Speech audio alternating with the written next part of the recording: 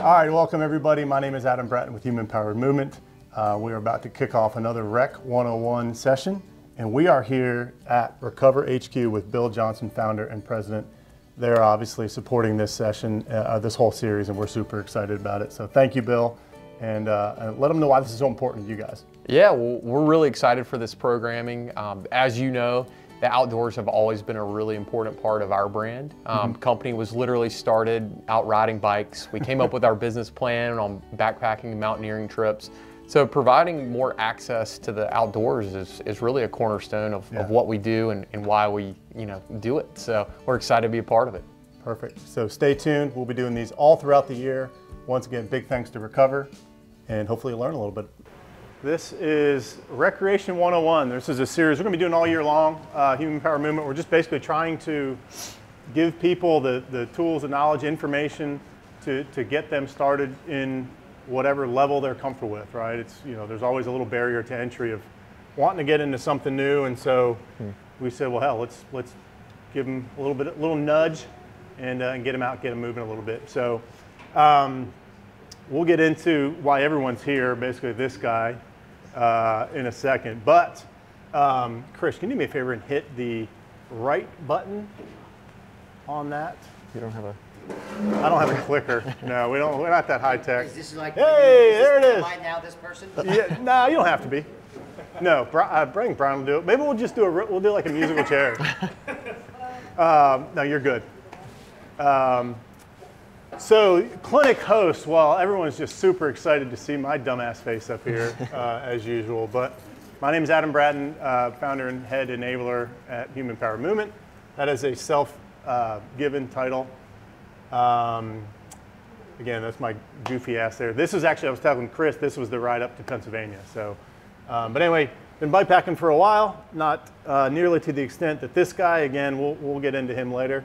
Um, but, uh, but just kind of love doing this. It's, it's another way to get out, get moving, and, um, and just kind of see new places and experience new things. So um, actually, Chris, yeah, you mind hitting that again?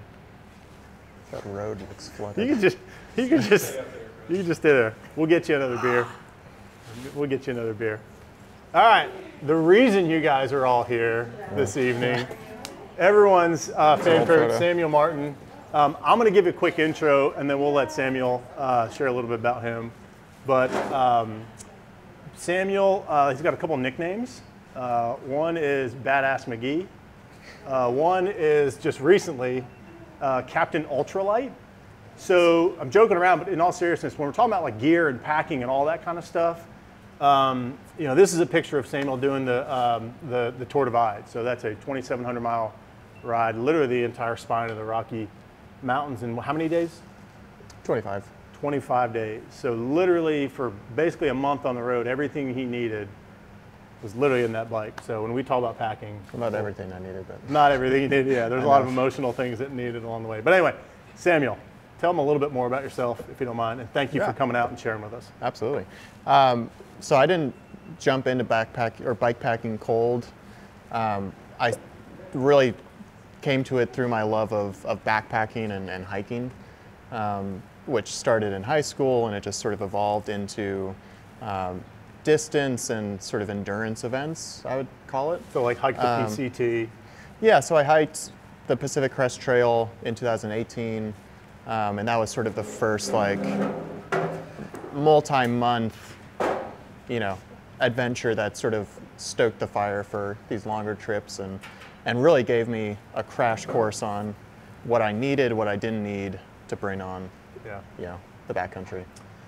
And we, um, along with Wes, who's back here as well, we actually, this is where the, he, we got the nickname of Captain Ultralight, but we did a pack rafting trip in Alaska in August. And so, um, same idea. It's like, hey, everything you need, it needs to be multifunctional, it needs to be small, it needs to be packable, it needs to be, you know, quality and all that kind of stuff. So we'll, we'll get into some of that stuff later. So anyway, thanks again for, for coming out.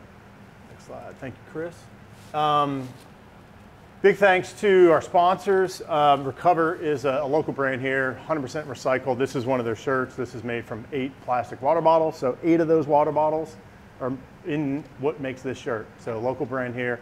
Their whole idea, their, their company was founded literally when the founder bought a bike from another guy and they started talking about the idea of creating this sustainable apparel company. So big thanks to them. Um, Sierra Nevada is a big sponsor of ours, so we want to just kind of throw throw some love. There's actually a bunch of Sierra Nevada stuff over here, so before you leave, make sure you grab a little Sierra Nevada goodie bag.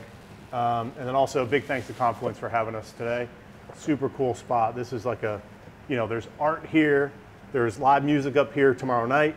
Uh, there's obviously outdoor recreational opportunities, and then everyone's favorite, there's a bar. So it kind of brings a little bit of everything we all love together. So big thanks to Confluence for having us. So real quick, we'll do a bunch of giveaways um, at the end, but I do want to do one giveaway first. And uh, Sam, if you don't mind pulling a pulling a name from the hat. Oh, I thought the helmet was the giveaway. The helmet, Well, it could It's like it looked a little old. but, yeah. yeah, a little grungy here. So this is for a $50 gift card to uh, Recover. And this person, whenever this person signed up, I didn't get a last name, but Eric. Is there an Eric out here? Nice, you guys. Good, we still have hope. Sorry, Eric. If Eric comes later, he's gonna be pissed. He's gonna be pissed at us. Chris Trafari, boom. Well deserved. Put it back in. You're, you're the put it back in. You're the you're the clicker guy. Do you want it? Put it back in. Yeah. Put it back in. Chris, ironically, is Double a it. is an ambassador for Recover. So I think that's probably. See, that's just you're Nepotism. spreading the wealth, man. All right, next is Max Max Wes Maxwell. Boom. Said I'll take that. Heck No yeah. hesitation. All right, we'll get. Uh, I'll, I'll, we got to get your email and all that stuff. We'll get it over to you. later. all right, so but Chris, you're going back in the hat, in the helmet. That's fine. Uh, we'll put Eric back in there for now, but Wes, you're done. You're, you're done. No, no more prizes today. That's all right. All right. Anyway, all right, cool. Just wanted that's our icebreaker for the night. So from here on out, it's all serious. Okay, so serious faces, no smiles. All right, so here's basically a quick, uh, quick rundown of what we're going to do. Obviously, we're going to, you know, bike packing overview, right? It's, I was telling a couple of y'all earlier. It's, you know, my approach to it is it's just like running, right? Running can be anything from, you know, running down the street to catch the bus, or running a, you know, a six-day stage race through the Sahara Desert, which that's a race that's out there. It's all running. Kind of the same thing with bike packing, right? It's all, it's basically a combination of cycling and backpacking. That can be to your local park, or that can be like something like Samuel did. It, it doesn't matter. It's all part of this this sport. We'll kind of go through a little bit of the differences of you know well what's bike packing versus bike touring versus adventure cycling, all that kind of things. We'll kind of break some of that stuff down too. Um, to start this, I, I think it's a really good exercise, and this is how I kind of got into it, is to ask yourself some questions about what do I want to get out of the experience? Is it paved road, unpaved roads, all that kind of stuff? So a big part of it is understanding, you know, what you want to get out of the bikepacking experience. Um, we'll also do a Q&A. This is obviously super casual, so if you guys have questions, But serious. yeah, super serious. That's Super right. casual, but super casual with a tinge of seriousness. Yeah. So if you have questions, obviously, you know, fire them out. We'll we'll, we'll do a Q and A at the end. Hopefully, we kind of stir some questions in your mind a little bit as we're going through some of this stuff. Um, as you can see, it's kind of what I was saying before. There's different distances, surfaces, styles, approaches, all that kind of stuff in biking. That's the beauty of this, is it can you can kind of make it whatever you want. So we'll, we'll kind of break some of that stuff down too. Um, obviously a huge part of this is gear needs and um, packing. So we've kind of rigged up some of these bikes. Um, I've also, that table over there, it's kind of the full display of what I took on the Pennsylvania ride. Um, so we can kind of go into some of that stuff. Feel free, we can, I can walk over there and show you some of that stuff too. Um, but you know, gear and packing is, is pretty critical in this thing. On the flip side, uh, I'll show you this. This is literally, it's funny because it's a recover bag, but this is literally, this was my first bike packing bag. It's a backpack, right? There's nothing fancy about this stuff. Um, I threw a hammock, um, hammock straps, extra pair of clothes, and I think like a little like frisbee disc or whatever in this pack with three other idiots, and we bike packed our first trip. It was an overnighter in the, down to the Florida Keys. So again, doesn't need to be all fancy. You can start wherever you want. Literally, th- everyone's got a backpack. Throw crap in there, and, uh, and pedal off, and, and check it out for yourself. Um, all right. Yeah, we'll end up with with uh, some Q and A's. So. All right, so I'm going to keep blabbing and then we'll kick it over to Sammy here a little bit. This, I love this picture. This is actually like a perfect example of, you know, the combination of cycling and in backpacking. And uh, ironically, uh, Samuel took this photo. Samuel's also a professional photographer, as we kind of saw earlier. And so just a phenomenal, we, that's a whole nother topic. But um, Sam and I went on this really cool, just a quick overnight trip, but it was, it was in a wilderness area. And so in wilderness areas, you're not allowed, it is legal to ride your bike. So we broke our bikes down, literally threw them on our packs, hiked down um, in the, uh, to the Linville River, camped out at the Linville River. Um, there's a really cool picture later in the show. We had to traverse, there was a bridge out. So we actually, Samuel had, Samuel had scouted this and, uh, and, and we knew we needed to literally set up a rigging system to like shimmy our bikes over across the river and then get back up out there. But anyway, so I love this picture because it is a combination of cycling and backpacking at its most purest form. Um, so generally, again, bike packing is um, unpaved surfaces. So by definition, there's no Webster's dictionary does not have a definite. You can't look up bike packing on Webster's; it doesn't exist. Um, but there's a yet. Thank you. There's a lot of good resources. I've, I've put a bunch of um, resources up here later. We'll get to QR codes, all that stuff. So there's plenty of information out there for you guys to keep learning. But bike packing generally is on unpaved roads, gravel mm-hmm. roads, dirt roads, mountain bike trails, single track, double track, all that kind of stuff bike touring is a little bit more on the paved roads, right? So again, that's kind of one of the questions you'll need to ask yourself is what do I want to do? Is it, is it, do I not like driving on roads or biking on roads with, with other vehicles?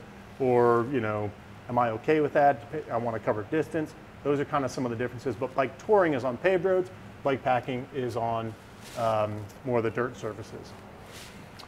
Um, generally involves more than one day, right? It's kind of like backpacking, right? It's it's backpacking because you're going out and camping. You're not if, if you don't do it overnight, you're just kind of going out for a hike, right? Same thing with this. Like you're if you don't camp or you're not out there for a day, you're just going for a ride, which is totally cool too. But that doesn't necessarily mean you're bike packing. Technically, you could throw a bunch of stuff on your on your bike and roll around if you want to, and there's nothing wrong with that. But uh, in this world, an overnight stay is really kind of one of the key features of it. Um, all right, I'm going to stop blabbing for a little bit. Samuel, just give them a, you know, different shapes, sizes, styles, all that kind of stuff, destinations. Just give a little bit of context as far as you know what the different styles of these type of, of adventures can be. Yeah. I mean, I think you covered it pretty well because I, I look at the three bikes that we have, and they all obviously have a different use case Right. when it comes to terrain, you know, texture of what you're riding on. Um, but you could easily bike pack on any one of those, Yep. right? So um, the mountain bike, you're not going to want to take on the road, so maybe more single track oriented, really rough terrain. Um, obviously, you have challenges there when it comes to the gear you can put on it and like the weight you want to carry on it. Um, so it's not ideal for distance riding or like you know, if you have a big kit, you're not going to want to necessarily put it on a, a, a full squish mountain bike, but um, your gravel bike's a good example of that off-road capable on gravel, on mixed surfaces, on single track, but it also is limited when it comes to really rough terrain. You obviously don't want to beat yourself up on Yeah. a fully rigid, you know. I've done that before and it's, it's no fun. Um, and then you have more of like a, you know, traditional touring and or um, maybe a, a, a, softer surface bike where, you know, you're not necessarily going to want to take that on rough gravel roads either. Yep. So that's, you know, you still get a little cushion with obviously the, the front suspension, but Yep. um, so that's where my mind goes is like, Yep. what bike do I own currently? Mm-hmm.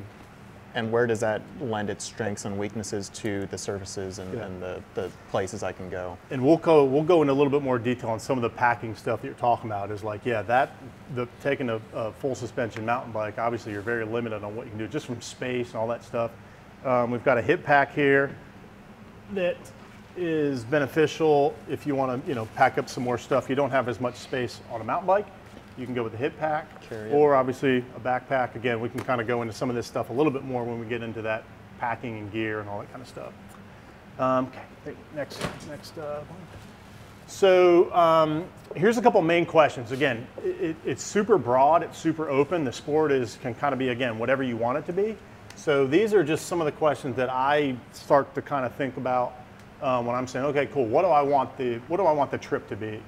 And so, you know, obviously there's 10,000 questions. This is not a comprehensive list. Um, you'll have to kind of go through your own thought process as you go. Um, but we'll break down each one of these. But I wanted you guys to kind of see, hey, cool. Here's a, at the minimum, here's a, a, a quick checklist for you guys. Say, cool. Let me decide what I want to kind of do here. So again, we'll go to the next slide and, and we'll kind of break down some of the pros, cons of either one. Um, so again, paved or unpaved, I talked about this a little bit before. Um, I'll try and give you some context of some of these photos too, just I think it kind of helps tell that story. Um, this, the photo on my left, that, that's me uh, down at, obviously in, in, Key West. That was literally the first bike packing tripping, uh, bike pack trip I did. You can see, I literally have two water bottles. I have uh, what's called a little gas tank. It's kind of just right on, right by the handlebars. And then, and then again, I took this backpack super straightforward. It was, you know, point A to point B on, on a single road. It was Florida Highway 1, I think. And it was just, you know, dodging semi trucks the whole way, camping out at the, it was Boyd's Campground, I'll never forget it. We, we all strung our hammocks up all over the place and uh, spent a day in Key West and, uh, and then bike back. Um, super straightforward. Logistics were super easy. Little did we, we weren't very good mechanics.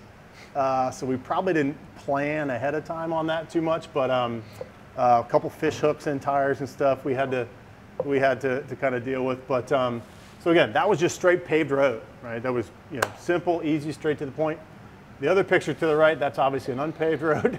That is a that's on the Palmetto Trail in South Carolina, which is a great example of, and we'll talk a little bit about this. Is that has everything, right? And most times, these trips aren't just like Highway 1 down in the Florida Keys. Most times these are covering different surfaces, um, totally different environment. Sometimes you have access to resupply, sometimes you don't, all that kind of stuff. But you know, you can be out in the middle of nowhere for, I don't know, um, on, the, on the divide, what did you see? I mean, there was probably times where you were just completely out of nowhere for a significant amount of time. Yeah. Yeah, I mean, it, it all comes down to your pacing and your, ultimately your, your, your route selective, but yeah, yeah. There's, there's one or two days where yeah, you're out there. You're out there. um, so again, paved or unpaved. Again, the difference is bike packing is primarily unpaved, bike touring uh, primarily paved. So as Samuel was saying before, this kind of dictates the type of bike that you'll need. Again, if you're going to be covering multiple, you know, surfaces, take that into account. I, uh, Palmetto Trail is a perfect example because you get literally everything. You get, I think it's, I forget what the mileage is, 350 or something, mm-hmm. and it's like 60% road, just straight up asphalt. And then there's probably another, I would guess, 30% or so is on gravel, forest roads, stuff like that. And then the final 10% is just straight up single track trail. So it's this, there's no perfect bike for it. And I can tell you, I've done the Palmetto Trail on a full suspension bike. I've done Palmetto Trail on that bike. And I've done a Palmetto Trail on a hardtail bike, which is this is like a hybrid bike, but it's it's a front suspension only bike. And they're two they're all three were totally different experiences because there's different there's deep sand, mm-hmm. there's asphalt, there's gravel, there's single track, there's all these things you have to go through. And there's no perfect bike for it. So it's kind of tough. So you just have to think about that as you're as you're kind of saying, yeah, what do I want it to be? If you're getting into it, again, I would just say, hey, start start on the road that you're comfortable riding. Throw mm-hmm. again some stuff on a bag that you already have and just kind of see what you think. So that's kind of my, my recommendation. Um, you'll see here, I've also put some QR codes up here uh, later if you want to grab them, but two of my favorite uh, uh, resources for this is bikepacking.com and Adventure Cycling Association. Those are just kind of two of the industry leaders in e either of those spaces. Cycling Adventure Association is more on the bike touring side, clearly. Uh, bikepacking.com is very clearly on the on the bike packing side. So those are two two good resources that we can look up later. Mm-hmm. Um, good. Um, I'm gonna let I'm gonna let Samuel take this one. Um, let me give you context real quick of the photos.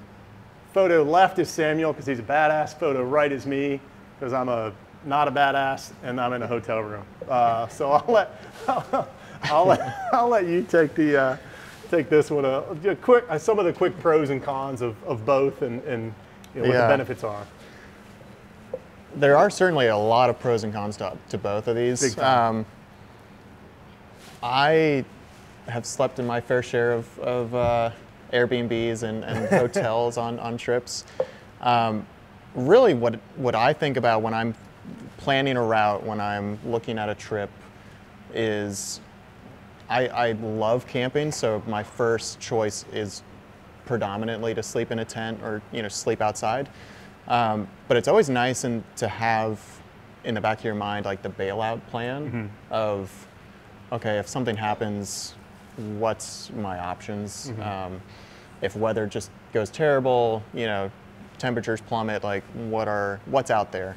Um, so that's always helpful just pre-planning as you're thinking about the trip you're, you're looking at your gear selection. Um, but yeah as far as camping um, obviously when you're looking at what you can put on your bike a tent takes up a lot of space typically. Yeah. so i think there's a conversation there around what tent and or what shelter are you carrying?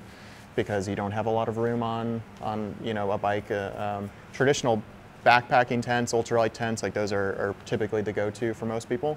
So those are what i what i typically say is if you carry it in your backpack you can pretty much carry it on the bike um, with some exceptions and some obviously you know changes there, but um, my go-to, as the photo goes, is is a tarp with a bivy essentially, um, which works well in most conditions. Obviously, in the southeast, you know, humidity, it can get a little swampy. So, I, I typically change that out depending on kind of what the weather looks like. But um, yeah, I'd say it's it's it's very easy to camp, um, and that's I think the one thing that maybe people would would take exception to is because you think if I'm on the pavement, it's maybe hard to plan where you're stopping that night because of mileage or because of any number of, of you know conditions.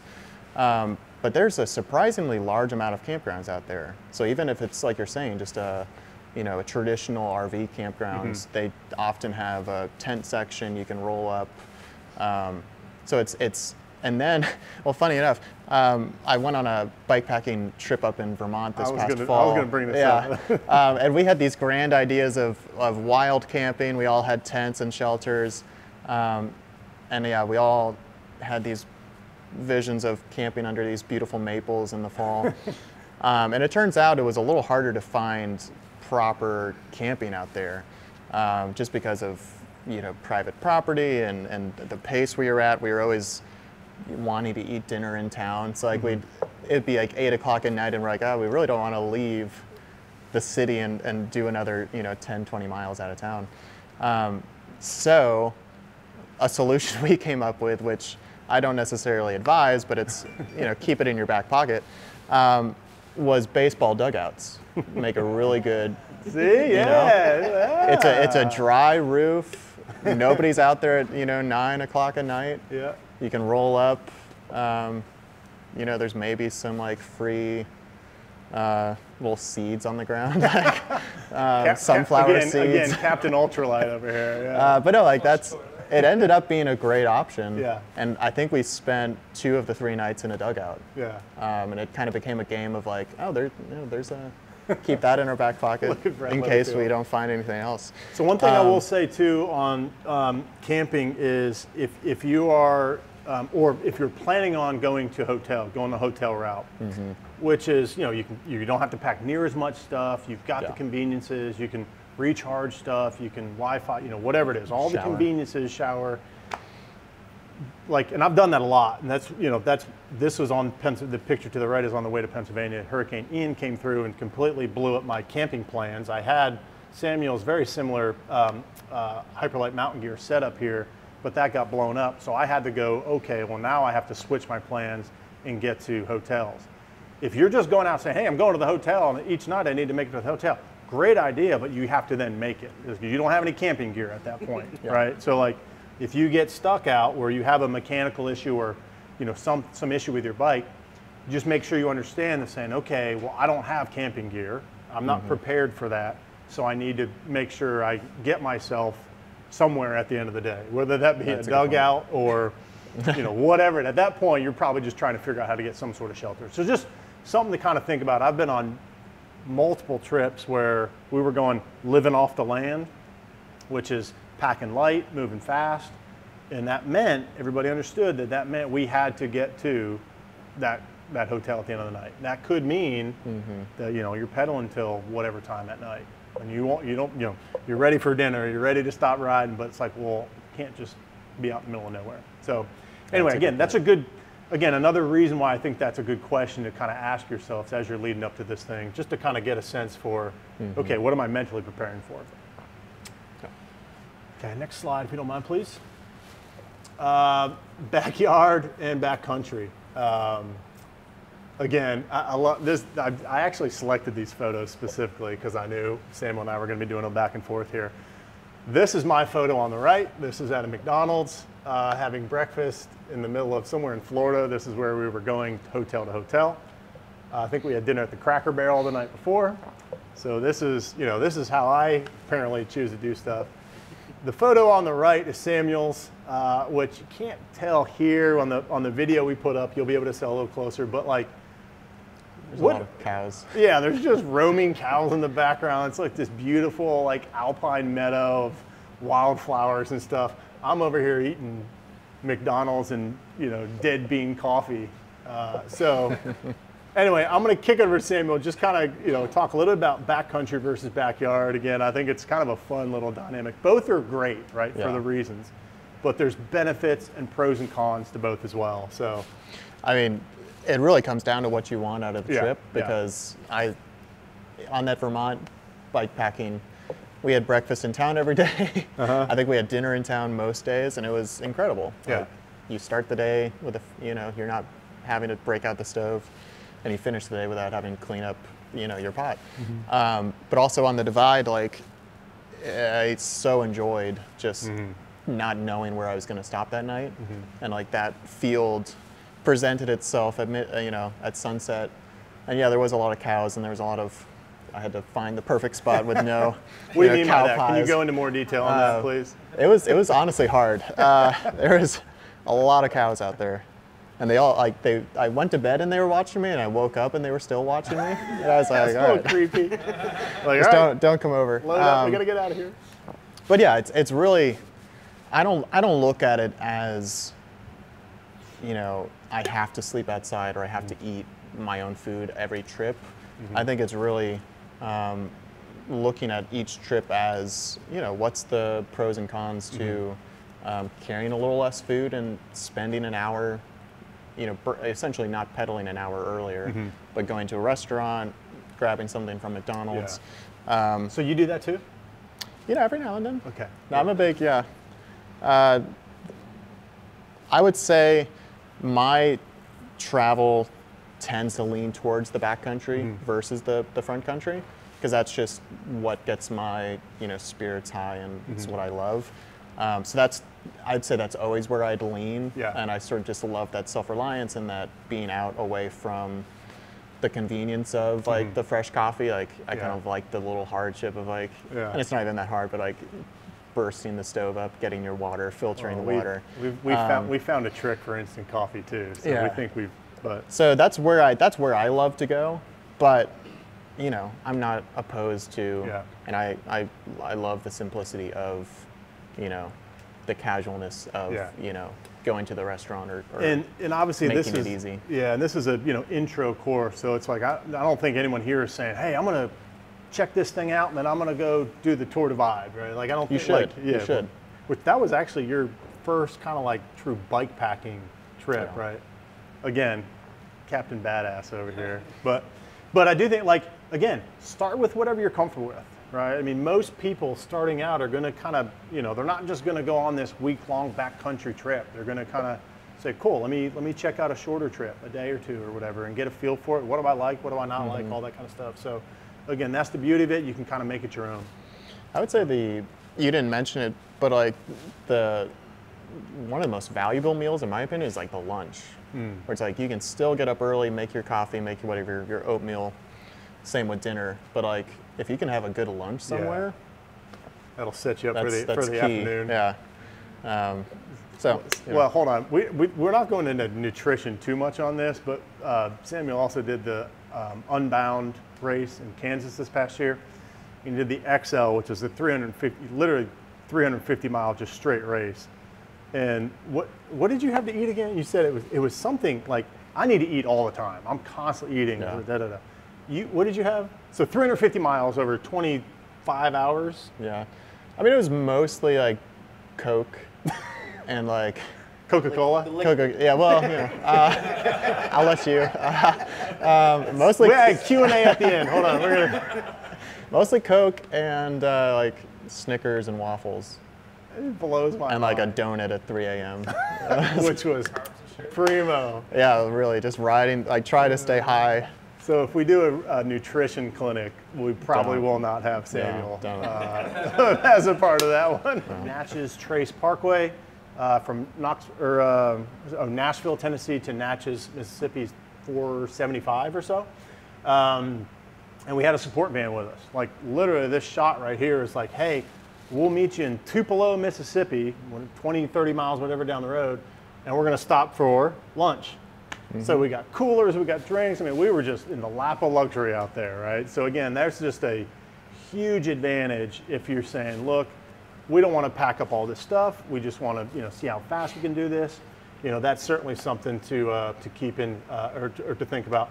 We had extra, you know, extra wheel sets in there. Again, you got everything you needed, right? The driver was going to the damn grocery store and resupplying for us. I mean, it was just, you know, a lot of logistics are out of the way if you can kind of set that up.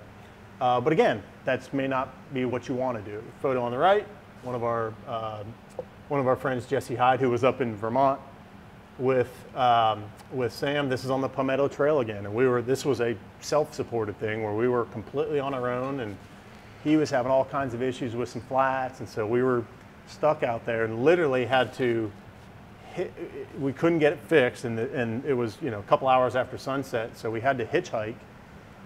And some drunken dude, well, turns out he was hammered, picked us up and drove us into a little town where we could like get some get some help. And but that's kind of part of it. We're like we're on our own. We don't have we can't just call up the sag wagon and say, hey, you know, let me drop a pin at our location and come pick us up. So, you know, we get the bottom point is pure freedom, right? That can be a good thing or that can be a bad thing. That's you know, that that's part of it. So that's just kind of a another aspect to think about. You know, if you have someone that wants to be, ride SAG with you, it's a big benefit. If that's not what you want, and just kind of be thinking about how you can get yourself out of situations if you find yourself in them. Samuel, did, I mean, that was unsupported to divide, right? Yeah, yeah. So I mean, it's, that's a pretty significant underhaul, but Samuel knows how to get out of the situation. So So far. anyway, yeah. Uh, as of now. All right, next slide, please. Um, again, another quick one here. Again, uh, same thing. I love this photo on the left. This was, you know, we we took our time on that. It was we were out for I think 25 hours, 26 hours or so, and we only covered 30, maybe 40 miles at the most. But it was just the most amazing scenery the whole way. You're in the Linville Gorge, you know, in this wilderness area. And, and you know, again, there's another photo in here of us kind of shimmying the bikes across the, the little rigging system we set up. And that was, that was what we wanted out of that trip. We said, mm-hmm. cool, it, this is not a, you know, 25 day deal. This is not a, you know, on the right, this is Natchez Trace I just talked about. We did that in four days. That's 470 some miles in four days. We didn't get to see any history. Like it was just head down and just chewing on the handlebars and going as fast as possible. I wouldn't, I wouldn't, I'm glad we did it, but I wouldn't do that again because I didn't get to see any of the history. Now there was time constraints we had, everybody had work and, you know, family and jobs and da da da. So, but that's just another, another factor to be thinking about as you're kind of saying, all right, well, what, what do I want this, what do I want this trip to be about? That was a pretty, pretty straightforward one. Yeah, okay. Anything? Anything No. there? You good? Um, real quick on this. Again, this is an intro clinic. I don't expect people to say, all right, I'm going to go, you know, do the Tour de France, you know, route tomorrow. Um, but it's just, I, I've done, an, I've realized it's only been one international one, but it was just amazing. We did a trip to Cuba, and it was just amazing to see new culture, new people, new food, new music, new everything that is, you know, again, I've done the Palmetto Trail a few times here in our backyard.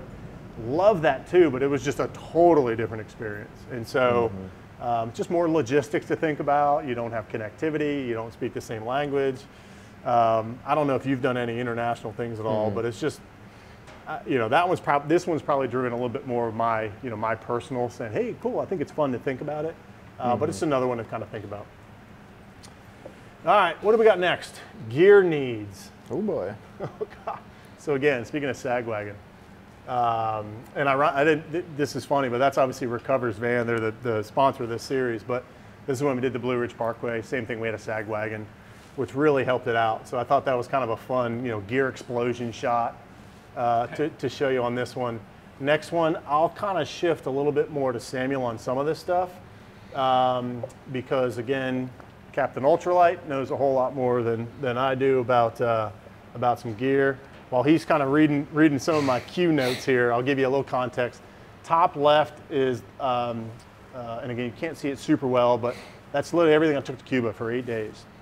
You know, the passport, I took bananas for some reason. I I didn't feel like I don't know why I thought bananas would be a good move to take. Uh, but anyway, and we stayed at what's called Casa Particulars. They were basically their version of Airbnb. So we knew we were going to stay, so we weren't going to do the camping thing. But just a, uh, an amazing experience. Change of clothes and, you know, whatever I needed. It's kind of a similar thing to the Florida Keys on the right. Um, bottom left is this is the trip to Pennsylvania uh, last month or two months ago. I've also I've kind of recreated that over there on that table. If you guys want to check that out later, uh, that was a setup for camping. I had to transition into the hotels because of the hurricane, but you know I needed to be self-reliant, so that was kind of the plan there. So we can do a Q and A or talk about that, go into detail later if you want. But anyway, gear needs. Gear. All right, this is like See, its yeah, own. see if we can see if we can kind of give some some basic stuff. here. Yeah, This it's a is big. Um, I mean, I think that statement, what you need versus what you want, is probably the core of it. yeah. um, because it's it, it really comes down to that. Um, for me, most of my trips and most of my experience has been sort of like, okay, how much less can I take each trip, Yeah. sort of thing. Like, I, Captain I Ultralight. well, yeah, it's like you you carry what you fear in a lot of ways. So, carry extra clothes. You carry three, you know, tubes instead of two tubes. Um, and then as each sort of subsequent trip happens, you learn the lessons. You see what you use. You see what you leave behind. And I think that's just starts that mental sort of subtraction of Yeah. I don't need the second pair of gloves. Turns out I didn't, you know, use the fourth pair of underwear. Yeah. I'll leave that back. Um, so, if from like, i i my one piece of advice would just be, don't really worry about it the first time because it's all going to change the second time. Um, so have some considerations about obviously what you're carrying, and, and you don't want to carry all of it, but um, just go because that's going to be the, the biggest lesson Yeah. versus Yeah. trying to get super nitty gritty in the in that first initial trip. Um, but yeah, the priorities prioritizing multifaceted, you know, gear Mm-hmm. is is super valuable, especially when it comes to safety and you know your mechanical um, kit, because we're riding mechanical devices, and especially for more backcountry travel, you are self-reliant. Um, therefore, you need to be able to fix Yeah. your, your your gear to get you out of the back, back, the backcountry. So just thinking, you know, I think most most bike riders to a certain extent already carry a certain level of, of kit to get them out of a situation. And I think with, with bike packing, that kit just gets a little bit bigger Mm-hmm. and gets padded with a few extra items that you wouldn't carry on your Yeah. typical, you know, Yeah. team ride. So um, that's typically where my mind goes is, is more the safety component. Um, first aid, what's your basic 1st aid kit that you want to bring? Yeah. Um, but yeah, really, what's the trip? Are you staying in a hotel? Do you need the sleeping kit? Yeah. If you don't, great. That's a lot of weight that you don't have to carry. Um, but yeah, just take it. You'll find out what you don't need, and then that's the fun part too. It's like, what? Ah, what? Yeah. Like, that- well, yeah. It's like thinking when at 10 o'clock at night, oh, where's my headlamp? It's Yeah. it's nowhere here. Um, and then like you just men- make that mental list, adding, subtracting Yeah. What do I love, what do I hate, you know, what works well on a bike that doesn't work well in backpacking, yep. and vice versa. Um, because there's there's a lot of crossover, but there's like a surprisingly large amount of non-crossovers that you yeah, think yeah. would translate well to the bike. Well, and that's kind of Um, why I grabbed these, right? So Yeah. th- this is this is just two different um, two different shoes. right? And so if you look on the bottom, there's two different cleat systems, right? So on this side here, this is obviously a this is a recessed cleat. So this is what I take when I'm bike packing. I have you know big feet, so I can't like shoes take up an incredible amount of space. I usually take just a, a super thin sandal, kind of like the old Navy dollar sandals, and then these. And if I need to walk or do whatever, I'm using these. I'm not walking around in my, you know, my road shoes because I've got this, you know, you've all seen it where you're clicking around. Like if we were walking on this floor right here, we'd be clicking around. This recessed cleat or this SPD pedal is way more efficient to use as a multifunctional tool. So I don't need to take up space packing an extra pair of shoes on my bike. These are my shoes. Now I have a sandal if I want to do around camp or whatever, but that's just mm-hmm. one example of saying, okay, can I use this item for multiple things? Maybe they're flat pedals. That's totally fine. You're wearing regular sneakers. That's what they, again, whatever you want it to be. But just think about it like, I probably can't pack multiple shoes. Or I probably can't pack, you know, multiple underwear, I mean, whatever it is, right? Um, so that's just one example. I wanted to show you guys that, just so you can kind of see some of the differences. Um, and I just, you know, so right now my pedals on, on that gray bike are road pedals. Uh, when I bike pack on it, I switch those pedals out to what's on my mountain bike, the SPD pedal, and wear these shoes. So just another thing to kind of think about to reduce weight, space, all that kind of stuff. Mm-hmm. Again, we could probably go into, we're trying to keep this moving here, but we could probably go into a whole nother topic of discussion or a whole nother se- session Not- not just to for make it that. a whole nother session, but Yeah, Samuel mentioned a couple individual kits, like maybe that's a good, like. like a like the sleep kit, like, the like, cooking kit. Like, yeah, like he mentioned Yeah. Yeah. a safety kit, like, Yeah, and a Yeah. Maintenance kit, and like, Yeah, what, yeah, what are like like the, because I think we're all intelligent enough to understand what the words mean, but like, Yeah. what Yeah. are like the basic, Yeah. like, like Yeah, a sleep, so- a sleep kit, like, oh, like you don't, yeah, like, do I Yep. sleep in? Yeah, good I'm question. Wearing? No, that's a great Whatever you- question. Whatever you want, baby. Yeah. What do you Depends how many beers we're drinking. No, because I Oh, think beer is not good. Bourbon is the preferred. Uh, Yeah, it's like- it packs a punch. Yeah, way, Uh, yeah, way, way less Yes, weight. alcohol content to uh, Yeah. volume ratio. No, I would say clothes is one of those Yeah. pieces of kit that is highly dependent on you and the trip you're going on. Yeah, exactly. Um, because as we all know, riding in the cold is awful if you don't have the right weather, um, as is riding in the rain if you're just soaked for days. Yeah. Um, so that's going to be super personal to you as, as and the trip you're going on. Um, I obviously try to be as minimal as possible with my clothing because that's also a, a fairly bulky item when you just think about volume and what you're packing. Um, so, like you're saying, what do you wear off the bike? Um, for me, that's often like a t-shirt and some shorts, like running So shorts. I also fall like in Adam's camp. Like I am not like two Snickers bars and a Sure, water. They're yeah. carry- They're not going to carry me back to my car. No doubt. no, and I think you know it, it also depends on like, are you wearing bibs and a jersey, or are you in more you know baggies and a t-shirt and Yeah. or just like a, a mountain biking jersey. Um, so I, I think there's ways to to complement yourself there. That's you know not so reductive that you know you're pulling out a, a you know a white tee at the end of the day and, it- and that's all you have. Um, So I think another one too is like we all know it, right? Gear is this whole other thing where it's like, hey, you can get a pair of cotton socks, and then you can get like the most high tech, fancy, super quick dry da da da sock. And so with gear, it's kind of the same thing. It's like start with whatever you have. Again, fill your backpack up with whatever, and say, cool, how was that going? Okay, cool.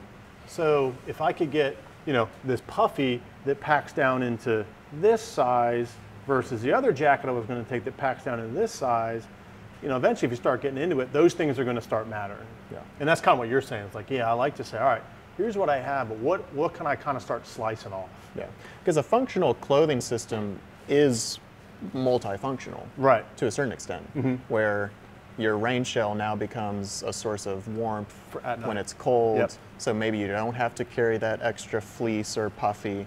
Um, as same with you know a jersey. Yeah. Um, what do you have? Like maybe just a long sleeve wind shirt that again can be a source of warmth or a wind Yep. cut. Um, so there are ways to, to layer that to where Yeah. you can make them multifunctional. But I, I will say for like just the the safety, you know, gear side of things, um, you know, some of the extra pieces that I carry for bike packing um, is like chain lube. You know, something you wouldn't mm-hmm. necessarily carry on a, a weekend ride, but come morning when your your Yep. gear system sounds like it's you know a dying chicken, like it's nice to Yeah. have a little rag and Yep. even if it's a sock, just clean Yep. your chain, oil it back up. That really, I think, improves your morale. And I um, did. I wrote a recent journal about what is bike packing and how do I start. And we'll. I put another QR code up here. You guys can look at it. But in that, I also created. I think there's four different itineraries of like packing list for four different itineraries. Some of the, and I was mixing in, in um, mixing up. Well, this is a two-day, you know, camping, and this is a three-day hotel, and this is a five-day whatever. And so I printed out a bunch of those. If you guys want to take some, again, you can find them online under the journal. But printed out some of those, just itinerary or sample itineraries with the suggested packing list. So some of that stuff's in there. Like, what do, what do I need? Well, if you're not camping, then no, you don't need some of that stuff. And on that is chain lube and some of that stuff that you're talking about. Yeah, like um, a because those are derailleur hanger. yeah, yeah. Um, so as far as like first aid and stuff, that was kind of another one. I have asthma, so I don't go anywhere without my inhaler. Um, um, I actually have started doing like the whole CBD thing that helps me sleep, and so I started doing that.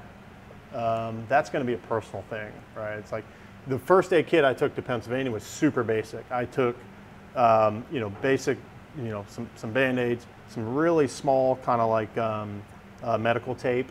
Um, I always take duct tape with me. In fact, I think there's like a little thing up here. Yeah, but um, um, duct tape is a is a moneymaker. Also, peanut butter fits perfectly into a bike cage. If you guys didn't know that. Yeah, but uh, I just wrapped duct tape around that. But anyway, that's another perfect. That's kind of a packing thing. Um, yeah. but um, first aid kit is super basic.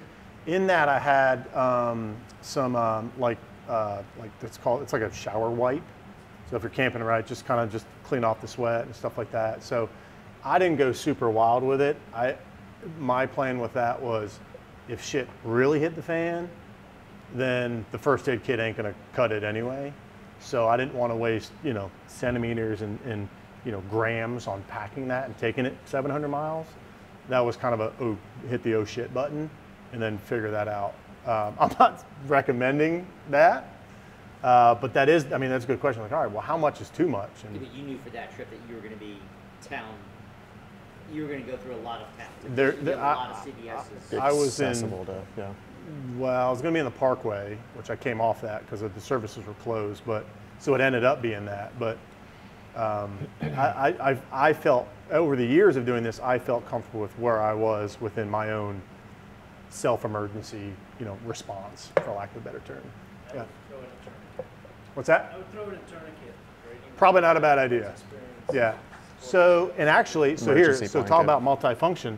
You can see, and I've, we've, we'll give some of these out today from, were some giveaways, but these, these kind of ratchet straps, or not ratchet straps, these tension straps here, the orange straps on my, the seat bag there, those can, those work. That's how I strap my sandals to my, to my pack. That's how, on the bottom, you can see my, the, the tools are on the bottom of that, uh, the green Sierra Nevada bottle. Those are all my tools. So that tension strap around that could easily double as a, as a tourniquet. Yeah, so that's again, that's another multi-use thing. And I had a, the whole system was various lengths. So if it was, you know, an arm or a leg or whatever, I had various length straps with me throughout that thing if I needed that. There's an emergency blanket in there that I took. Um, that's kind of one of those, you know, that's, it's uh, maybe the size of a deck of cards and weighs a couple ounces, grams even. So like that's something I always kind of throw in, but Yeah. kind of, again, it kind of depends on where your comfort level is. Yeah. talk more about the pros and cons, advantages of uh, different sleep systems? Because I've, like, I'm on the cusp right, right now. Yeah. I started off like touring for, for years. Always carried a, a tent and the you know, strapped to the back rack. Yep. Now I realize with bike packing, I need to kind of lighten the load. Yeah.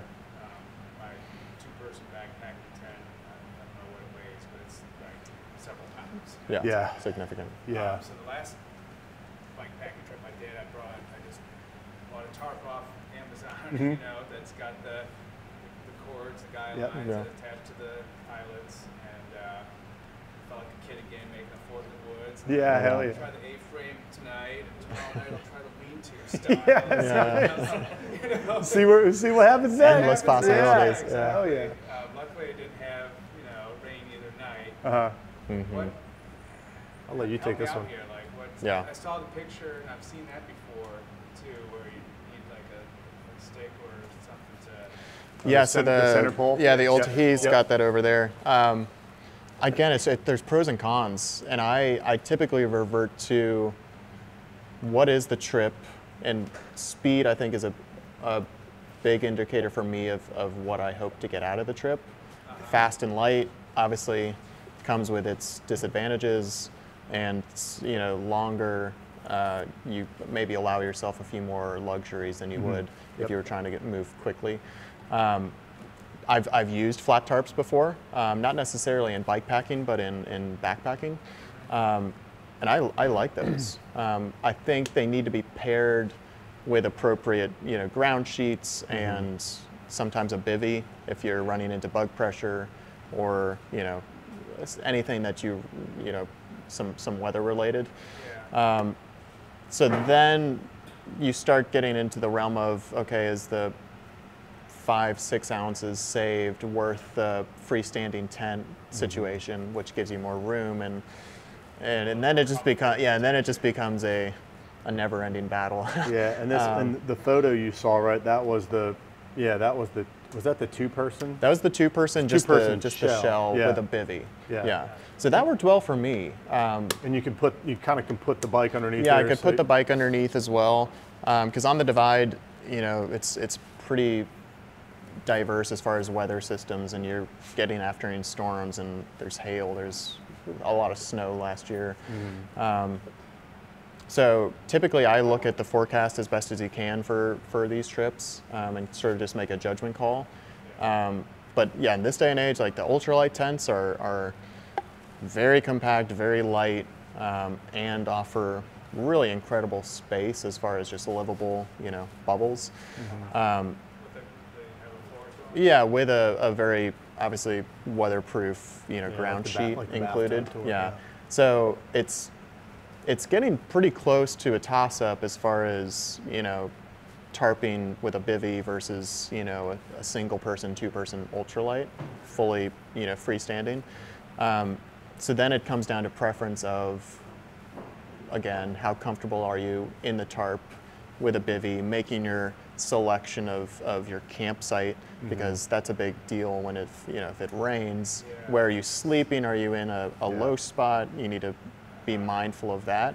Versus more of a traditional freestanding tent, you can just Yeah. you know it's up in a minute and a half and you're you know inside eating dinner um, so that's i mean it's a very personal and i think it's really too like trying both and seeing what you like and i think if you can master both then you have both of those in your quiver and so for a fast and light trip you you're you know golden with your 10 ounce tarp and you're out on the road Yeah. and if it looks bad or, or bug pressure is really awful you have the freestanding tent that you know uh, but as far as other kit, you know, I know people who don't bring a sleeping bag and they just wear a puffy and some warmer pants, and that's pretty hardcore. Yeah. um, I don't know that I would do that. Again, it's it's that's the trip they wanted. They're sleeping five hours a night and they're you know they're riding their bike 19 hours a day.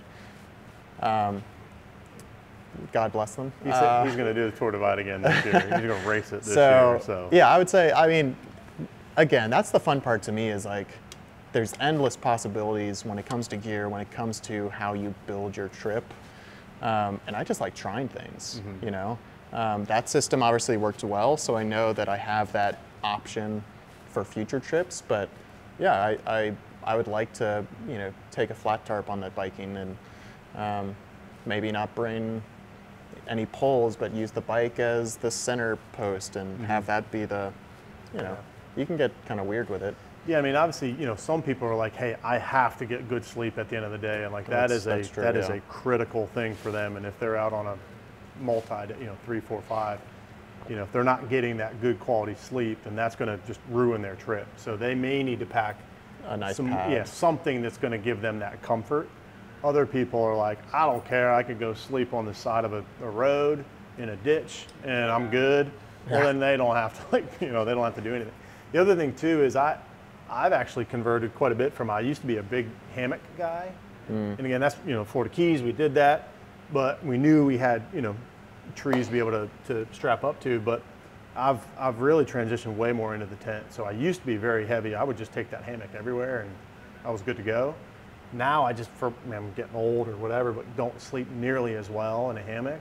And so I, I have to go with the tent. And for, for me, again, very, I think it's maybe the same exact one that was in that photo when it's on that table there, but the Mountain Gear, it's, it's it's a two-person tent. I like it. It's probably more. Obviously, I don't need a two-person tent for me, but I like it because it gives me a chance to like set up, and then I can kind of do my gear audit each night. And also in the morning, it's just an easier, quicker, more efficient process. If I have a little extra space in my shelter, hmm. that I can kind of, you know, if I need to lay stuff out, if I need to do whatever, it gives me some more wiggle room to kind of have that convenience that I personally find is cool. That just kind of helps me on this you know, long, arduous kind of trip, those are kind of some of the things that help me. That may be totally different for someone No, I agree. Yeah, I think that's you can't like overstate that as Yeah. what it like. What's your comfort level of one comfort Yeah. sleep? Yeah. I need a nice pad. I need you know a little warmer sleeping bag Yeah. because it's you know. Yeah. Um, but then also, I mean, I think a lot of people who may not have spent a lot of time in the backcountry have some fears around spending time, like if it's a solo trip, Mm-hmm. you know, and having a nice double-walled tent Yeah. psychologically is a great way to like, okay, Yeah. there's nothing out there, I can yeah. to sleep. There's no Um, cows are going to attack me. yeah, and I, I am someone who like I need to sleep well to function. Yeah. Um, so that I, I typically, you know, carry a warmer bag Mhm. because I don't want to be cold. Yeah. So I, I do carry a bit more weight in Yeah. that sort of sector just because that's You carry a important. sleep bed as part of your gear, no? I do typically. Uh, one of those, you know, Therm-a-Rests, pretty light, blow up. Princess and the Pea, I would definitely need that. Yeah. Yeah. Oh yeah. Yeah, that's the thing. With all of this, it's, it's very subjective to what works for you. All right, everybody, we're going to take a quick break from our session. Hopefully, you've learned a thing or two so far. But um, we are here at Recover HQ with Recover founder and president Bill Johnson.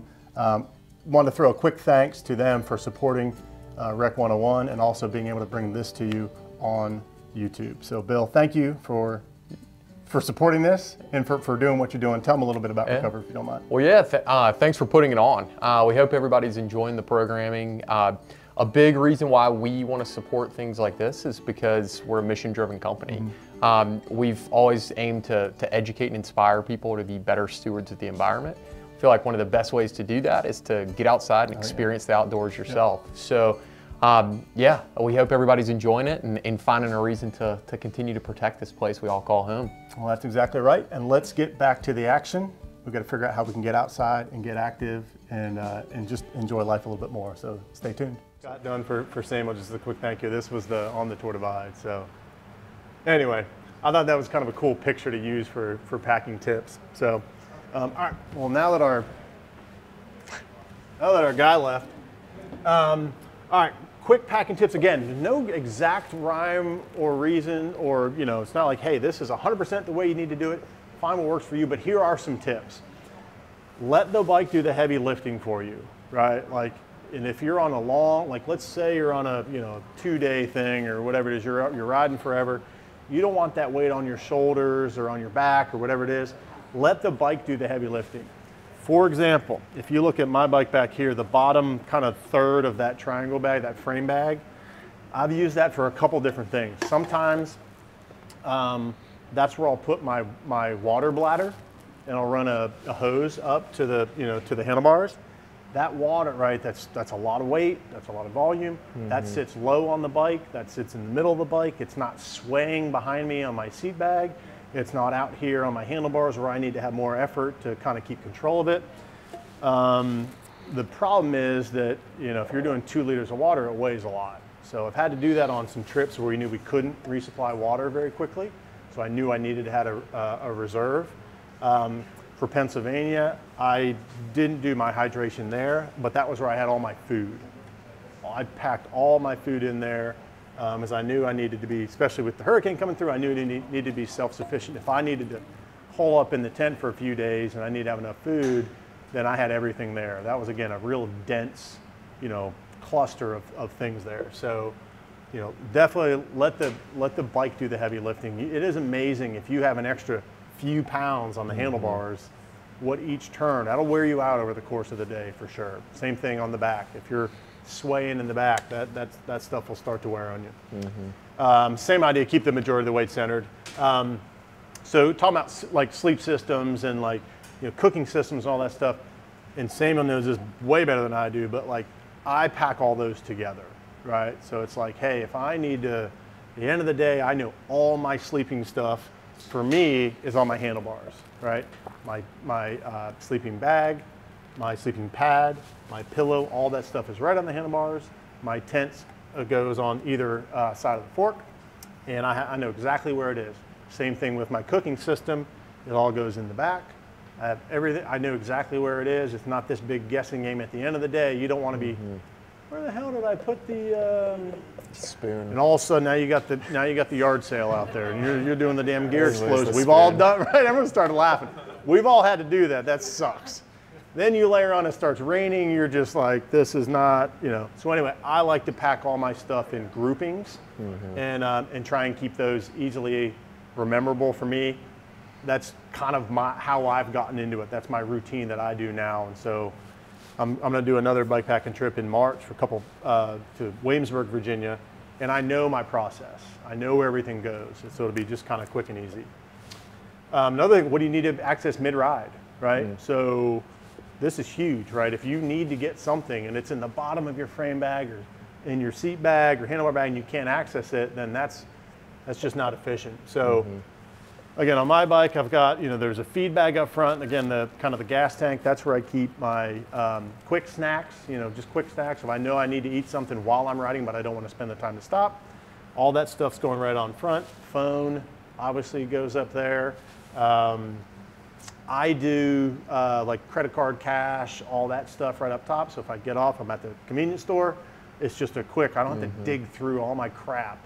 I'm just say, cool, credit card's here, going in, coming back out, and I can keep rolling. So, um, and I'll, you know, Sam, I would, I would love for you to share some of this stuff too. But let me just finish these last two up. How frequently do you need to access the various items? Again, same thing. Sleep system, right? It's once a day. Clearly, yeah. You don't need to be digging around there multiple times. So that can be at a hard to reach area, you know, uh, um, that you don't, you know, you don't need to get to it.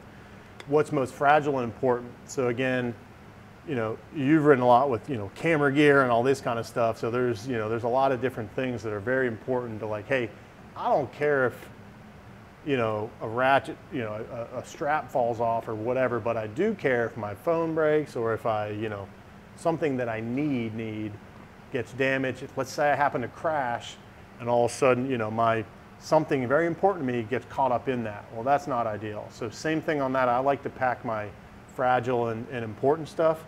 I like to mm. pack it in my in my frame bag. It's more protected. It's kind of like a you know, the the bike frame itself is like ribs, right? It kind of protects everything in there. It kind of protects your vital organs. So that's kind of my quick quick rundown. Obviously, I think it's good to share kind of some of your stuff, what you've seen over the years as well. Yeah, I would say it's it's fairly similar. Um, my yeah, my mind goes to where's my food, right? What can I access? As most as most Yeah. most humans Um, do. Yeah. But really, I think with food, like what can I access while I'm moving? Mm-hmm. Um, like a quick, you know, Snickers bar, Pop Tart, what have you, a waffle. um, and then like what's the s- secondary snacks? For me, I typically kept a lot of snacks on, you know, the the, the gas tank and or the um, what do you call those? The Feed bag. yeah, like a feed bag. Fits a can of Pringles really well. Oh, on the forks. Yeah. Um, and then like the top of my frame bag, I kept a lot of secondary food. So that was sort of like the day's food, if you will, that didn't lunchtime yeah, that like didn't yeah. fit all in the in the top bags. Um, and then like my dinners and stuff, like you know the ramen noodles, um, that would be yeah. That would be in the, The in the dinner. tail bag, Mhm. just because I didn't need that until you Yeah. know, dinner Yeah. time. Um, but very similar. I kept all of my, uh, and I've sort of iterated on this a little bit. I'm still thinking through ways to change it, but on the divide at least, you can sort of see the photo here. Um, yeah, my sleep kit was in the front of you know the handlebars, similar to what Adam has. Um, The- the- my frame bag was a mixture of food. It was a mixture of some weather gear. Like I kept my you know rain shell in there. Um, I had a lot of my. Yeah, pull this forward. I was gonna say, that one's like behind most On the bike? Yeah. Yeah. Yeah, we'll pull up. Show this Him to pull it forward, but- because Let's this is basically what I. I mean, very similar. Yeah, this should be pretty similar to the Divide. Yeah. Thanks, bro. I would say the only thing that I had in addition to this is I had a, um, I don't know what you would call it, like a re- another top two bag that I kept a lot of my Yep. mechanical stuff in. Um, but yeah, phone, credit card, all of the snacks. I think I had two um, I think you did too. feed yeah. bags. I would keep a can of Coke in one, and Yeah. um, a lot of. It was also my trash receptor, Mm-hmm. just a quick out of the way. Um, and then yeah, sleep kit up here, which worked pretty well. Mm-hmm. Um, I don't love having stuff on the handlebar, but it sometimes it's hard to get around. Chris, go back one. Yeah, get there- around, you know. His, there you can see right there. Yeah. And then I did end up having my shelter on one side of the fork with water bottles, and I kept some extra tubes on the other side of the fork as a just in case, you know. oh shit. How, how's the suit get attached?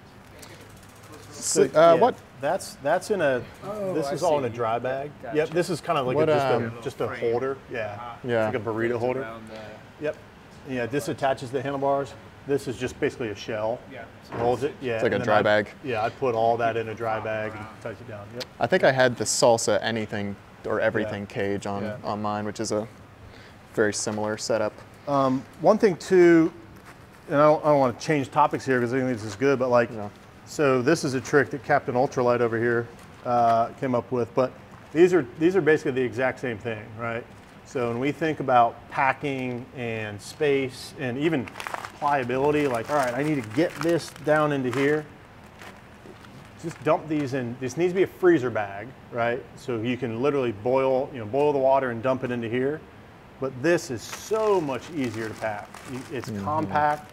The other, what's that? wasn't designed to sell, that was designed to sell. Yeah, well, exactly. Yeah, but but now the other thing is too, easier to pack out. Hundred Less percent. yeah. Yeah, hundred percent. What I do too, and you can kind of see I wrote on here. It doesn't really matter. Like at that stage, you're like, I don't care what I'm eating. I just need calories. I just take a picture of, you know, all right, how much water, how much time do I need? I just take a picture and I always have it. That way, I don't need any of this stuff. I can get rid of it at home. This is way, way, way easier. Again, keep again. This has to be a, a, a Freezer. freezer bag though. Yeah. And what we do, and we did this all day long in Alaska, but we just, you know, boil the water, dump the water in, and just put it straight back in the Jetboil. And you're just using the Jetboil as your bowl. Yeah. So it's way easier to clean up than too. Yeah. And again, those are you know just toss those out too. But this is just such an easier. And if you need to like change this up in order to get it into a spot, you know, if you need to change the size or shape of this, this is way easier than you know what you buy straight out of off the shelf. Yeah. So again, there's a couple little tricks in that too, and you know that goes with you know gears getting smaller and more technical and all lighter and all this kind of stuff. Well, you know, there's easy fixes to do the you know some of this stuff too. Yeah. The, yeah, it's funny. You're like Yeah, all this technical changer. stuff, and like the one takeaway was, oh, I got to get a couple freezer bags. And it becomes a good trash bag too. Yeah, yeah. I've used them just to, instead of having a million wrappers floating around Yeah. your bags.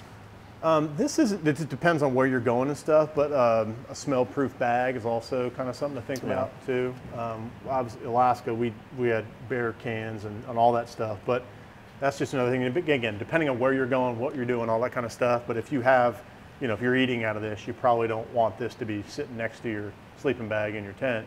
If you're out in, you know, some in some deep wilderness or some bear country, that would be a be a bad way to wake up in the middle of the night. Yeah. So what's in the, the saddlebag, like clothes?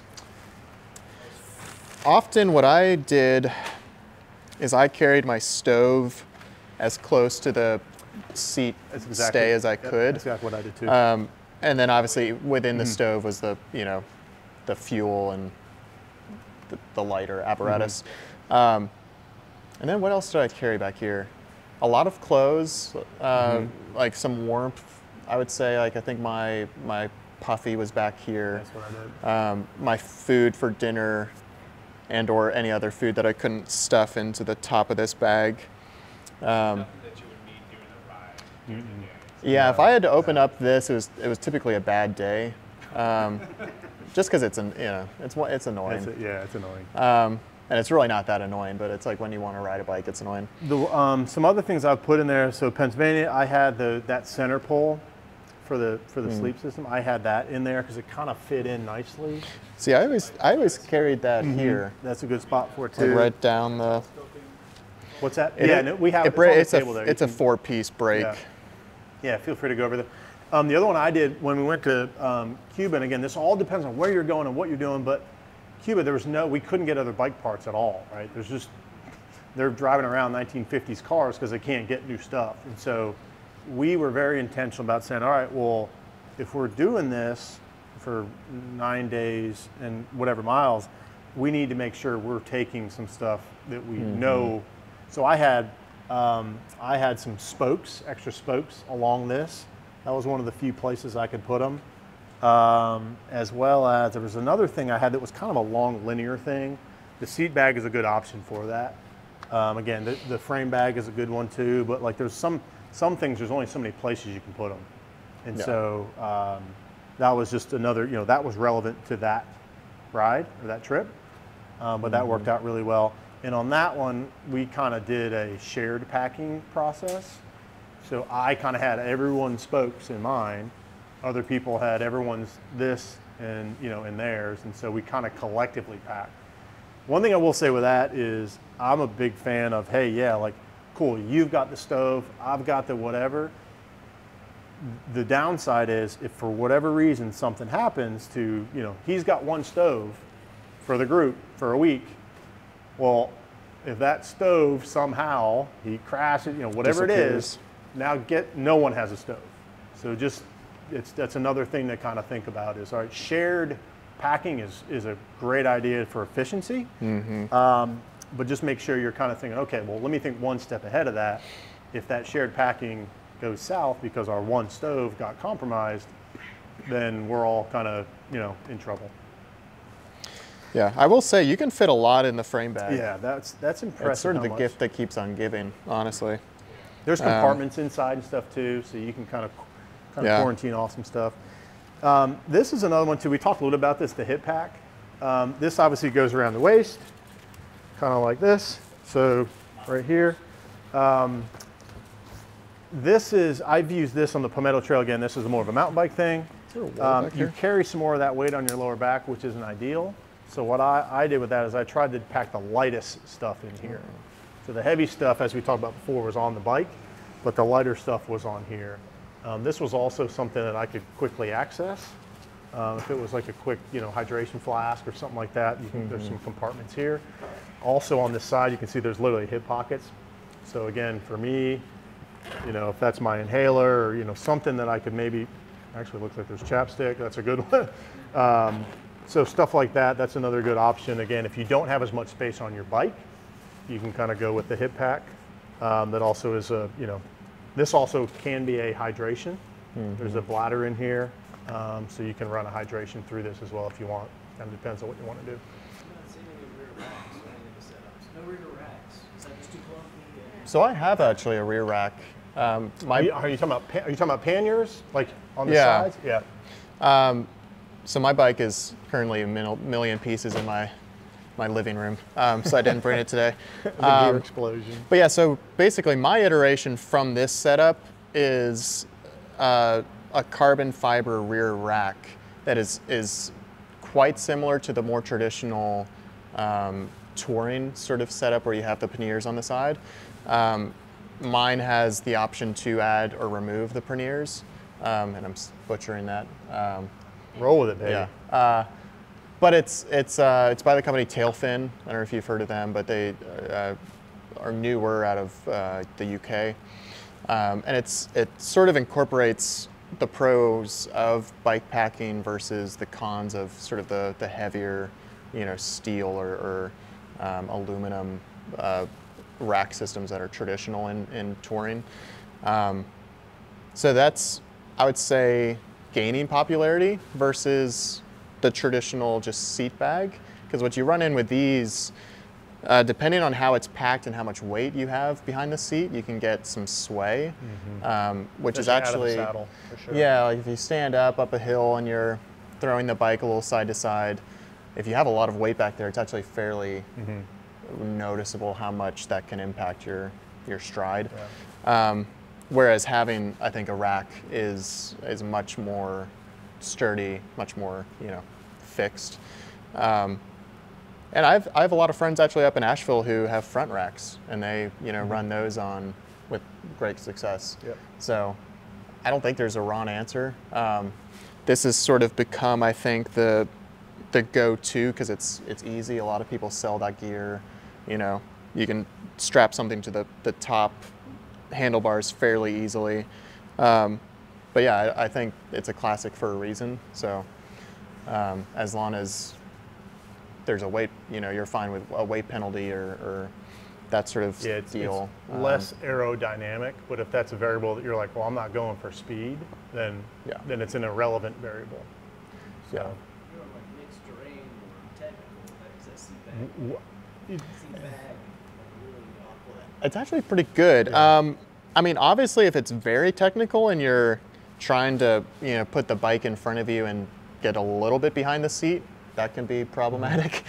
Um, but if you're doing that in a drop bar with a bike packing kit already, like you're, you know, you're in for a rough time already. Um, I would say though, it's it's, I, I didn't notice it much on the divide. Um, I will say that the rack is. I've only I only rode that with that on the um, uh, the the northern Vermont? Vermont. uh, I couldn't think of it. Uh, Vermont trip this past year. So, um, but it it certainly is much of a lower profile. It basically sits underneath the seat um, and bolts down to the, the back frame almost by the back axle. Um, so in that case, you're not even, that's not even an issue essentially. Um, but yeah, I, I never really noticed it. Yeah. They do- Unless for the worst of terrain, Yeah. you know. So I- is that a rack that um, you don't need the eyelets then? So they actually, yes, you can, if you have the eyelets, they have adapters, um, quick release, or you can actually run it through your axle. They, they'll sell an axle with the quick release on the, on the axle there. So that's actually, you can use it on a mountain bike, which is nice. well, that's um, good because, because, it has the actual pivots on it. and that particular bike has a dropper post, and You can use it with a dropper yeah, post. well, they, they tell you not to do a seat bag on the dropper post. Yeah. So if you can't do that, then you're all right. Well, now I don't have that option. So if you if you can run this through the axle of a mountain bike, then that can maybe open up that option for you as well. That you couldn't get from going on a seat bag on that. Mm-hmm. Yeah. Is that because the dropper post can't lift the weight? What's that? Is that because the dropper post can't lift the weight? No, I think, I, and I don't know exactly. No, I think it's because the, the dropper The post. actual post. Yeah, you don't wanna damage like, the Yeah, it's like the fork where you don't want to scratch the surface of the post itself. yeah, Um, because you're attaching. You can see on the back here, you're attaching this, tightening it down, and you know, obviously that's got some some sway Oh, in there when you're out. So any of that little rubbing can can potentially damage the post itself. Yeah. Yeah. Yep. Um, cool. Let's keep moving. We're kind of, you know, I don't want to keep y'all, but um, this is this is some good this is some good stuff. And again, we'll stick around here for a little bit as well. Um, again, if you guys want, we can send this stuff out too. But if you want to grab any of this stuff, bikepacking.com is top left, Adventure Cycling Association's top right. This is the journal I wrote. Uh, what is bikepacking? Where do I start? And there is a so for the Charlotte people, this is you know this is not for YouTube, but for Charlotte people, there's you know there's local opportunities to do this too. I mean, we may start doing some of these quick overnighters, but um, Charlotte spokespeople is doing an overnighter at McDowell Nature Preserve, which is kind of down towards the Fort Mill area. But When is that? uh, March 25th, I believe. Um, so grab that if you want. Um, I think they're doing like 20 bucks or something like that. But it's same idea. It's this this. It's like hey, let's just kind of go out and see what it's like. So there's you know, we're, we're obviously going to put this up on YouTube, so there's people all over the country that are going to check this out. They can. My point is, go check out whatever's in your area. That's one that's just specific to us here in the Charlotte region. So, um, real quick, this this photo is from the um, uh, hurricane route in Florida. Um, you can see on this, you can see right here actually the um, hydration. Right, so here's where I had all my hydration in the lower third, and I ran my tube up here. Um, this was a uh, live off the land trip, so no no um, no camping gear or anything like that. Um, but we knew we needed to get to the hotels each night. This was also the uh, the McDonald's and uh, Cracker Barrel photo I think you saw before. So, Cracker Barrel. but there's like so again, this is another. There was literally water crossings after dark in Gator Country. that We were terrified. We're like, holy shit! Don't want to do that, but I got to get to the hotel. And then later, we literally rode through a, a active forest fire because that was our only route we could get through. And we literally talked to the firefighters and like, you guys should not be doing this. And we're like, well, we it was getting it was actually dark, and we had we would have had to gone 60 miles backtrack to get around, and we just kind of probably shouldn't say, it, but skirted them and like you know we knew we had 20 miles to get to the hotel. So like again, adaptability on these trips are, are super important. Uh, the other guy I was with blew a spoke and it shot through the sidewall of the um, of his rear tire, and so he was down two spokes. We had to limp it to a bike shop that uh, didn't have. He, he had i9, um, kind of a very specialized wheel, and so they didn't have spokes. So anyway, got to be got to be ready for anything. Uh, yeah. Any other questions here before we'll do some more giveaways out of our of our uh, bike hat? I'll but that up. It's the last Yeah, few slides. yeah. Any other Freebies. questions? Sam, so on your, on your big uh, divide trip, it was on climb, right? That Yeah, was your roughly. First foray into biking, but you had a bunch of hiking experience. I'm just curious, how did you decide what amount of water you wanted to take with you? Yeah. How much was that? And then was that something that you whittled down as you went as well? Yeah, that's a great question. Um, I definitely did my research. Uh, the divide is a mixed bag because you run into such diverse like ecosystems. Obviously, the southern ends in you know New Mexico, the desert, so there's not a lot of water down there. But up north, like there's Montana, Wyoming, you know, Colorado. There's a lot of running streams and rivers. Um, so it's a little bit of of a guessing game, I would say. I believe my capacity um, maxed out at about five liters, and on average, I probably carried two to three. Um, and that was just due to uh, one, sort of knowing what I can operate on. Um, I typically live life a little dehydrated, so I, I'm well Quote prepared. A couple liters of Coke. Write that Yeah, yeah. They're taking notes. Taking notes. Okay, Samuel said live. life. So- okay, got it. It was like you know there's conversations. You get northbound riders. You have the conversation of hey how's the you know water up there. What's the train? um, but there's a few known sections that are dry and those are pretty well established uh, the basin being the, the, the greatest of those. Um, so in those sectors there's a little bit of fear mongering where it's like oh you need to carry 10 liters um, and if you're moving at you know seven miles, like you need to if you're going to be out there for a day and a half but um, if you're also hitting certain speeds like you can pass through it. Um, and then it's like is it hot? Is it cold? All those factor in. Um, so i was fairly flexible but yeah i, I carried in the in the basin five liters um, and then on average probably two to three. And i had a filter with me so i could you know. And yeah there was definitely moments where you know you don't have any water and you're like well i probably should have filled up at that last creek. Um, because now i'm climbing uphill and it looks like there's no water for the next you know at least 20 miles.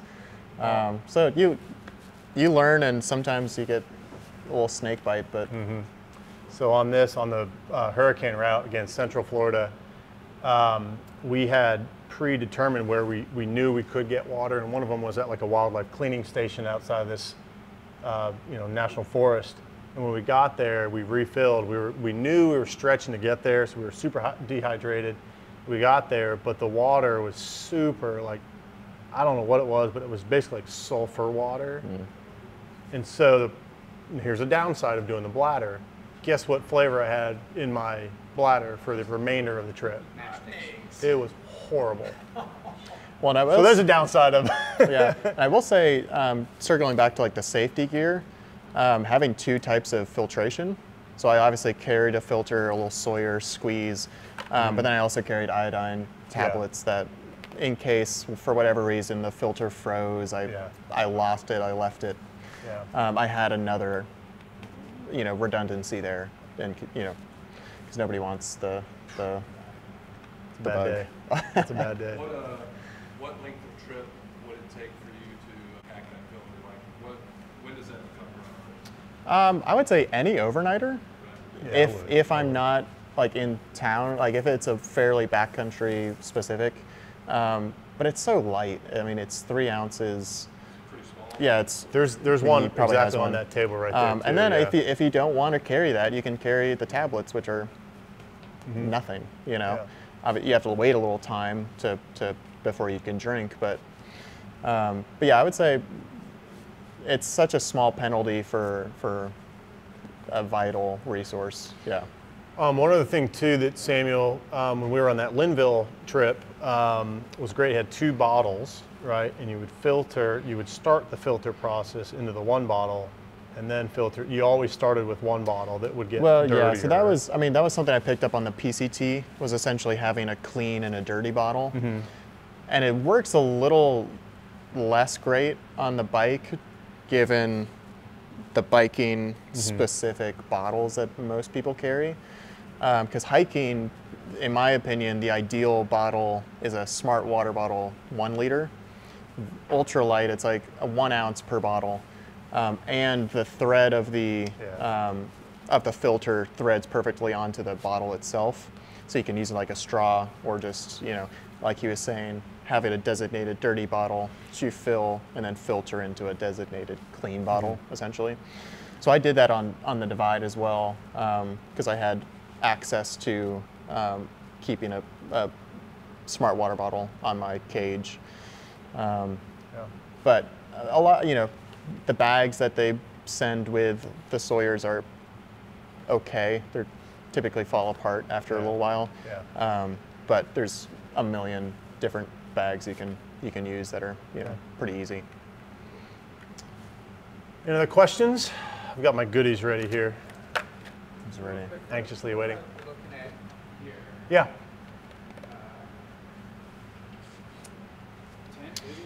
Yeah. Yeah. So essentially, with Hyperlite, they like to build their products into a modular basis. Um, so what you have here is the the actual tarp. So this is the exterior frame of it. Correct. So this is a pyramid, um, and you stake out the four corners, run the you know the the stand right up in the middle, and it's a perfect standalone shelter. Yeah. And what you're holding here is essentially their netting with a bathtub floor option. So that's able to be inserted inside this tarp, and it acts like a, a two-wall shelter. Um, where you have a big bathtub floor, but you also have, you know, really nice, you know, bug netting. Um, Correct. So that's like totally enclosed. They also have another option where it's purely the bug netting. So you can just go without a, a you know bathtub floor and either bring your own you know ground sheet or just go sans ground sheet. Um, and it sort of just comes down to what's your weight sort of appetite because you know. Um, I, I didn't. Do you have a bivy? I didn't bring I mine. didn't. No, I didn't. Um, but t- I mean, the, the size factor of a bivy is, uh, uh, is yeah, very minimal. Yeah, Just snap around the uh, sleeping bag. yeah, yeah. So I mean, there's different types of bivvies. Some are, um, you know, literally just a, a small enclosure that you know you just sort of slide into. Um, and then there's other bivvies that actually have very short, um, you know, uh, tent-like structures that basically just get the fabric off of your face and give you like you a, a coffin essentially. Yeah. So there's there's options there as well. Um, but you yeah you can get pretty like four ounces like very very compact.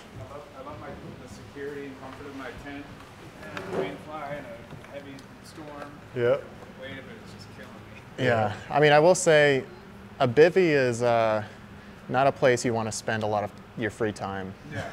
It's it's like I'm- Functional. I'm, gonna eat but- dinner and then I'm gonna slide into this thing and crawl out of it in five hours. Uh, yeah, cards. you're not. Whereas the the the two person tent, like Yeah.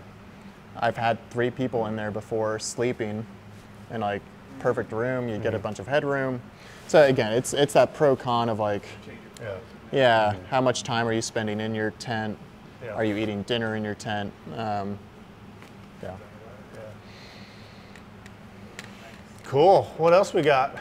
So Yeah. do you have a good trail example of some of the backcountry, all dirt, you mentioned Palmetto Trail, but I think you said that was like sixty-five percent road. Yeah. So Linville, that looks like you were hiking, hiking that a lot. Mhm. Yeah. Good like wilderness backcountry, all dirt trails. Like local around here. Two hundred. I mean, Pisgah is just loaded with options, right? You can Yeah. stitch work kind of anything together there. The Um, fun thing is bikepacking is actually based out of, um, or bikepacking.com, I should say, not the, not the overall entity. Um, Not the sport. but, but yeah, but .com, they're based out of Brevard. So like this is their backyard essentially. So, I mean, they have routes all over Mm-hmm. the world, but really North Carolina, the Southeast has a, a, a honeypot of sort of their special gems and projects. I forgot to bring them. I'm, I subscribe to them, so they sent out a, a phenomenal Oh, publication. yeah. I meant to bring them tonight, but thanks for Um, bringing that up. But yeah, I. Pisgah, I would say Pisgah has more um, single track options. Yeah. They incorporate a lot of, you know, if you're familiar with those trails, Black Mountain, some of the Daniels Ridge, like, you know, some of those single track options into some dirt. Um, whereas there's a lot of options over in Linville that don't necessarily necessitate hiking, uh, that keep you on gravel roads and pavement. Um, Wilson's Creek, you know, there's a lot of uh, options from 30 miles to 120 miles. Um, And up into Like is a New River Trail. Like I haven't actually. Yeah. This is a wide gravel. You don't have a ton of elevation through it, but uh, you do have designated camping sites along it. Uh, Mhm. Definitely one to look at. And you can do seventy miles. There's a Oh, yeah. similar one. Actually, one of the photos earlier was right at the C&O, the Chesapeake and Ohio towpath, Mm-hmm. which goes from basically DC out to Columbia or Cumberland, Maryland. And it's 188 miles of that exact stuff. It's an old towpath, but they have designated hike and bike campsites along there as well. So Yeah. zero vehicles, a lot of hikers and bikers and stuff, but that is a, a, a solely a non-motorized um, option that a ton of people do that. And that actually links up to, it's called the Allegheny Passage. It actually links all the way up into Pittsburgh.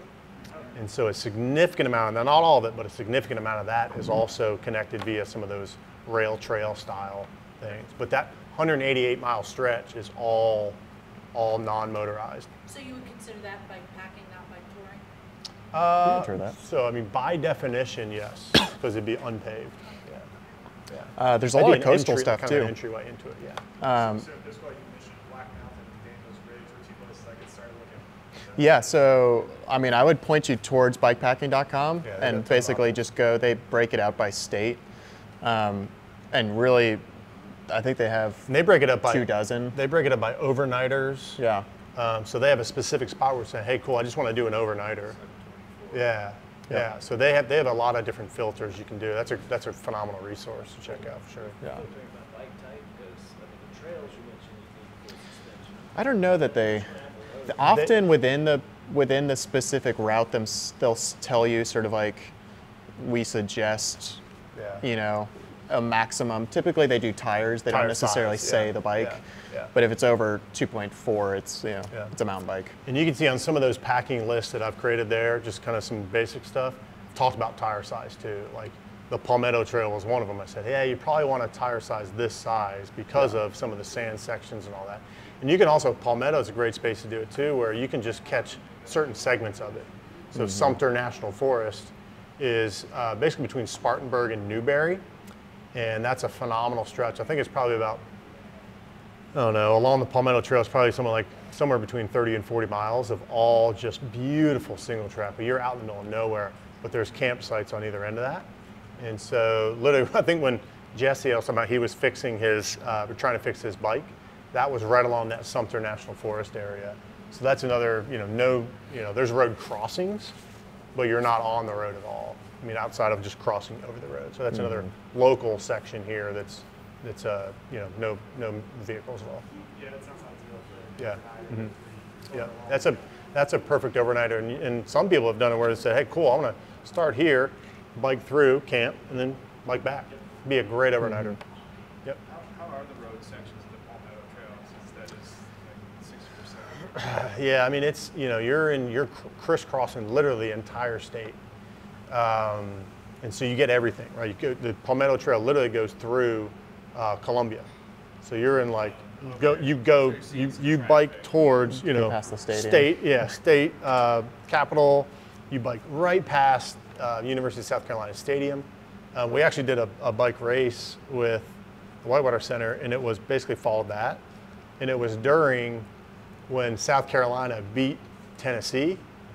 And I happened to be on, it was a relay, and I happened to be on that, and it was just a complete shit show. I mean, just 100,000 people roaming, you know, drunk people roaming around the streets, and we're like trying to like, you know, get through here. Cops are stopping traffic. So, point is, on the Palmetto Trail, you get, you know, you get some urban sprawls, but the vast majority is in rural South Carolina.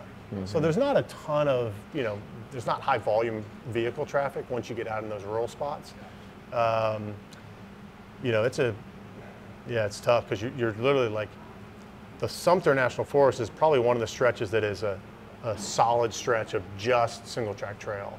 It just bounces back and forth nonstop. You're on road for 20 miles, and then you're on gravel road for 10 miles, and then you're on a rail trail for five miles, and back on a road for another 17 miles. So it's just this constant, you know, surface change that is, Pumping up the tires. last yeah, yeah, yeah. So it's again, it makes it kind of keeps you keeps you uh, focused, I guess. Yeah. Well, cool. Well, anything else? Uh, what's some of the advanced gear?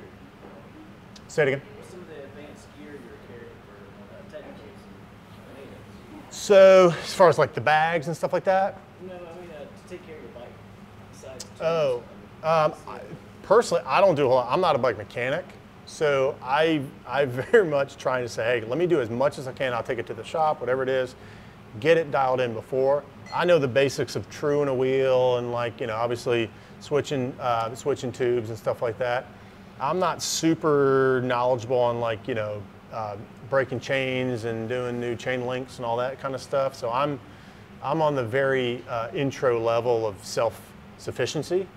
Um, but I'm, uh, you know, every time and anytime you ride, it's it's ABCs, right? It's air, brakes, and and uh, chain, right? So meaning clean the chain, lube the chain, whatever. So anytime, I'm always doing that first and foremost, which is on that packing list. I talk about lube and even just a rag to clean out the chain.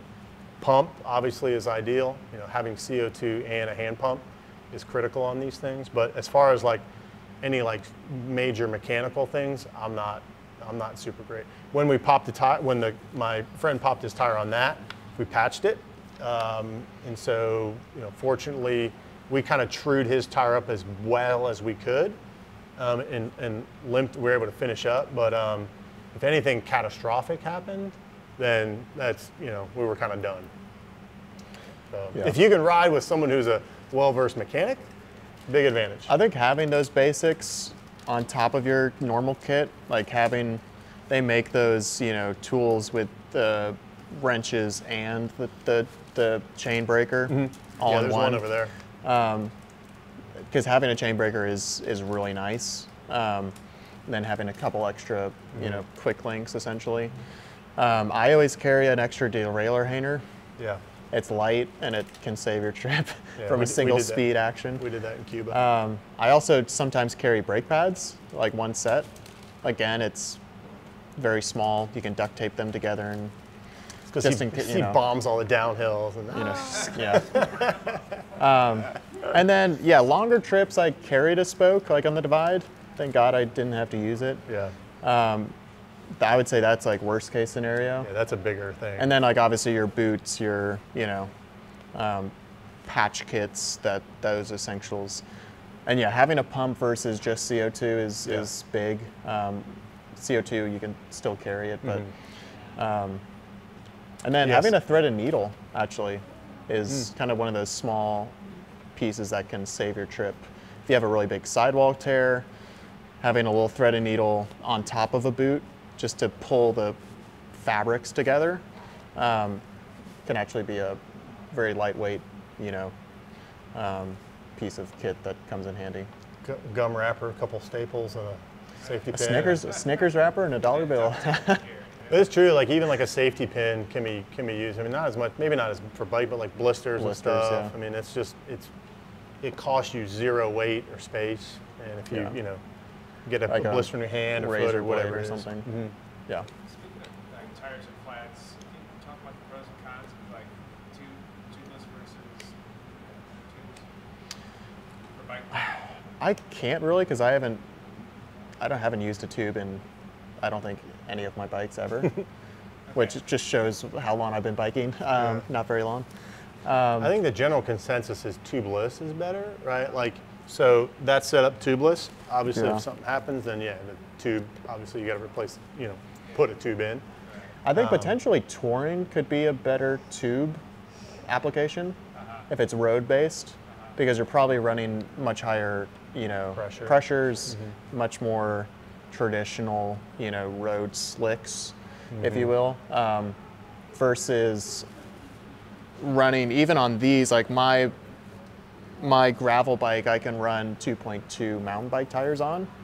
So at that case, I want to run lower pressures because that's my suspension in effect, um, and you just can't do that with with tubes to the level you can with tubeless. Yep. Yeah, um, you know the pinch flats, all of those. Um, so tubeless really hasn't come back to bite me yet. Um, I know. Uh, yeah, I would say it's it's pretty it's pretty good at this point. Yeah. Um, you know, carrying and knowing how to use, you know, um, uh, what do you stab the tire with to fix a flat? plug.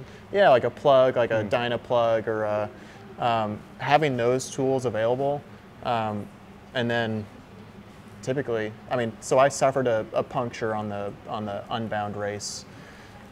Snuck a plug in there, didn't worry about it for the next 200 miles. So, um, Life is good.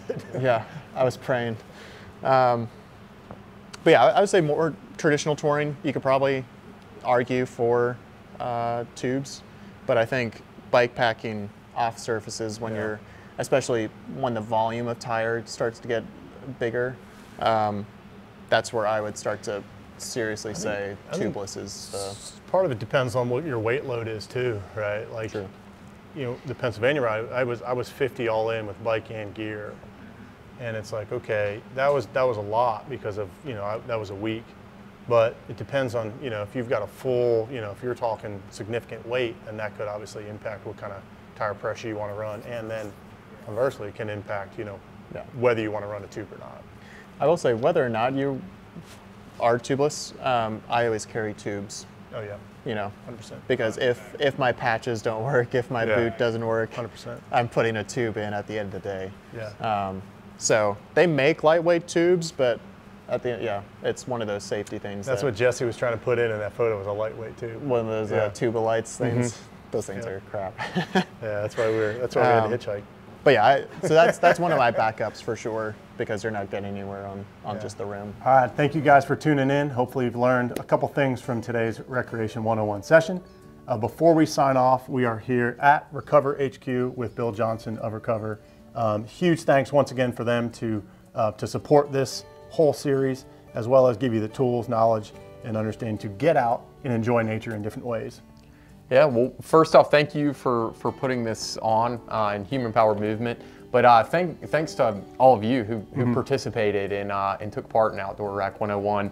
Um, being the title sponsor is really important to us as a brand. Um, you know, as we talk a lot about sustainability, we really think of it as really the constant pursuit to do better. We're always trying to improve our systems, the way we do things, and just give more people access and exposure to, to do things the right way. And we feel like Outdoor Rec 101 really speaks to that. So we're really excited for, for all these new outdoor enthusiasts who've, uh, who've in, completed the, the class and, uh, and look forward to, to seeing you guys out there. Um, so, so thanks again for putting it on and, and thanks to all of you for participating.